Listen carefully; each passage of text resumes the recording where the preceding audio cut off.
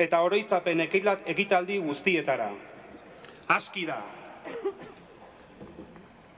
Declaración institucional de condena por el asesinato de nuestra vecina Blanca Márquez Andrés. Qué manifestación de violencia machista que se produzca en nuestra sociedad. Fomentar y potenciar las medidas institucionales de apoyo. A partir de este momento vamos a guardar cinco minutos.